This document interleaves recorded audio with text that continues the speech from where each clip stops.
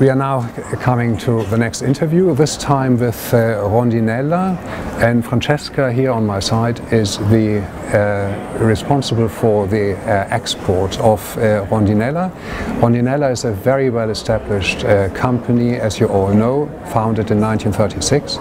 And um, we are always very impressed, especially when we talk from a European perspective, how a company like yours manages with this long tradition to still produce wonderful quality in Italy. Tell us more about um, uh, the production of your shoes here in Italy. Yeah, uh, Rondinella is a company based in Monte San Giusto. It's a very very small town of the center of Italy, and um, the most interesting thing I think is that uh, a family, the, the history of Rondinella is a family a family story. Yes. because a person, the name was Alfredo, started the company in 1936, and then the son, and then the son of the son Yes. continued the Yeah. tradition. So it is still So- a family-owned company? yeah, and the actual owner Yes. are two brothers, and Yes. one of them is again Alfredo, because also in the names we have I a see. tradition. Yes. So uh, this long tradition Yes. give to Rondinella the um, the quality know-how, Hmm. Today we can produce very qualitative shoes Yeah. uh, using and exploiting all the know-how of 80 years. Yes. Um, how is it, uh, or I can imagine that over the last, let's say, 20 years, um, it was sometimes possibly not that easy to find craftsmen in, in Italy because, you know, prices were pretty high. Um, there are cheaper locations worldwide where you could produce shoes much more cheaply. How did you get around to actually produce a quality product, which is, you know, expensive to produce, still in Italy? it's a, a choice. Yeah. Uh, that means that the owners decide to continue the tradition, not always also in the um, in the place. So hmm. they are still producing shoes in hmm. Monte San Giusto where they started, and even the the price of the the work Yes. is very high and expensive, they decided to continue hmm. there. Because you can of course go in other countries and have cheaper prices, but the quality of the product is not the same. So they take really um, a way to continue producing very qualitative shoes with the same way in the same place because they believe that the uh, uh, that quality is a combination of features the place also the area and the tradition of the area and all these elements make Rondinella so special and so qualitative Children's shoes especially are, you know, uh, again, uh, a very delicate uh, product. You know, it's, it's, you know, the tiny feet of children um, which need to be protected. Um, there are all kinds of uh, issues, you know, environmental issues, you know, sustainability. Is it good for the skin? Um, how do you test? How do you make sure that the material you use really reflects your standards and your criteria?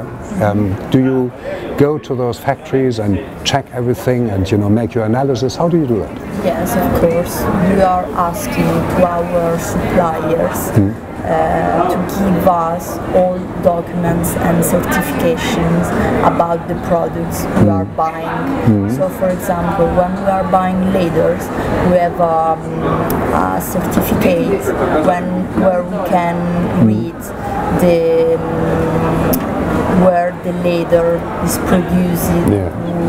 with how the, the leather is worth. So it's really possible for us to check everything mm. and to decide if the mm. suppliers is correct mm. for our standards or not. Okay. For example, uh, concerning leathers, we are using only calf leathers, also for the lining, the Okay, inside, yes. because we believe that quality means also uh, very good materials. We can't do quality shoes uh, with plastic or uh, uh, not good materials. Yeah. But besides the production, obviously the shoe is much more than just leather and uh, laces and so on. There's lots of design involved, there's lots of creativity, first of all, involved. Um, do you design you know the actual style? You know when you look at um, the, the latest models you've uh, developed all this happens at home in your factory.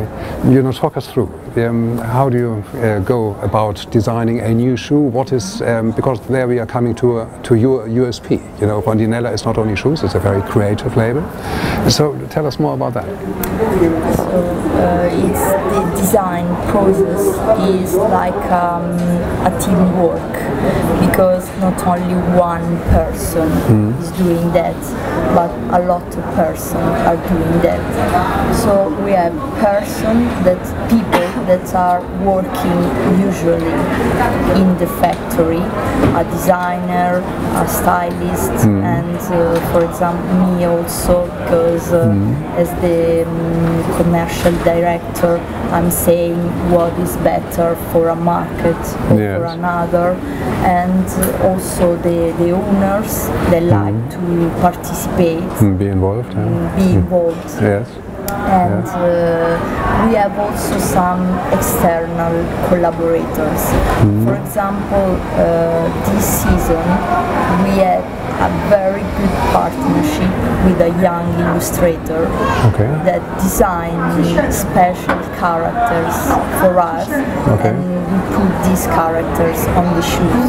Okay. The shoes become a sort of monster shoes yes okay we call them we call it muso but uh, we will maybe speak about muso Yes. later Yeah. uh, just to speak about the, the designing process uh, it's a teamwork and we have people working all the day in the factory but also people from other places that are helping Yes. us in this creative process Yeah. It's, you know, shoes, um, I'm now talking for a moment from a German perspective. Uh, the German consumer, as we all know, is uh, rather cost conscious and uh, ref- reflects long and hard on where to spend his money. Uh, shoes are, you know, quite expensive, you know, and uh, children are growing quickly and uh, every mother, every father, you know, looks at the cost and says, oh dear, you know, what shall we do? Shall we spend this amount of money or not? Because, you know, these shoes will not be usable in, you know, a year's time, which is, you know, the eternal conflict you have as parents. Uh, Still, you place your shoes uh, at um, a certain level, and um, what's you know the thinking behind that? I'm, I will reply to you what I'm replying every time a person told, tell me uh, these shoes are so expensive and they are kids shoes. Uh, I'm replying also when you are eating a steak on a best on a good restaurant you are eating a steak maybe for uh, 100 euros and the time of the steak is only 30 minutes.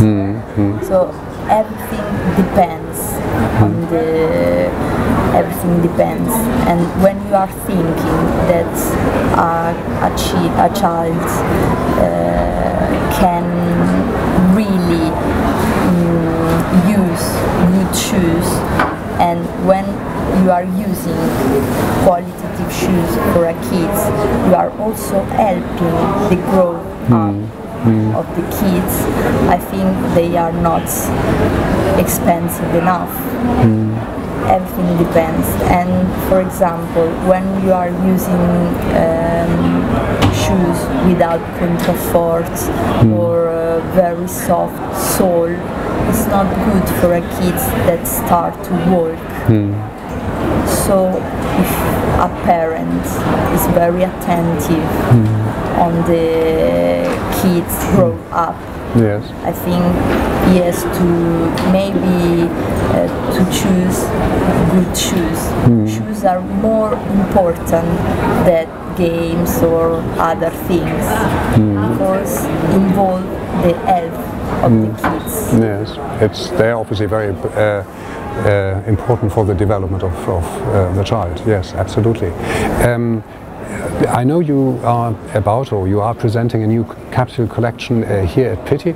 May I quickly, before we come uh, and turn to that, ask you in how many countries are you actually uh, operational or how, to how many countries do you export uh, your, your products? Is Europe, the CEN, really the, the most important uh, part uh, of your export markets or are there other markets which are growing nicely and which or where you see great potential? Yes, for example, we are of course selling in uh, in Europe. So, for example, Belgium, Netherlands, Germany, France, but also in Asia. So, our best market in the moment are Japan and Korea. Okay, South. Korea. Yes. So we are a little bit changing also our minds about export because um, we are not selling a lot in Italy. Yes. We are better concentrate on the export. I see. Yes. But at the beginning we were selling in Europe. In Yes. the last five years we have developed also other markets like Okay. Asian markets. And the next um, project, market project for us will be US. Okay. Okay. We are that's- working yes. for that. That's a vast market. Um, fine. Let's, because you know time is uh, running uh, out. Shall we talk a, a bit about the new uh, collection uh, that uh, you are presenting here? Exactly. Yeah. What's the idea behind it? Hmm? Muso is a very special and funny collection because um, we created with this young illustrator some character, uh, monstrous characters, and we we change all the shoe, also the structure, in monster shoes. Really. Okay, yes. So uh, I think kids will love very much this kind of product Yes. because it's not a normal shoe.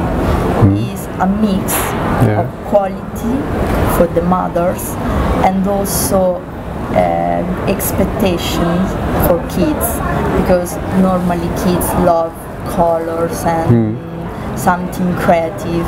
So we, we try to mix and together both of the aspects.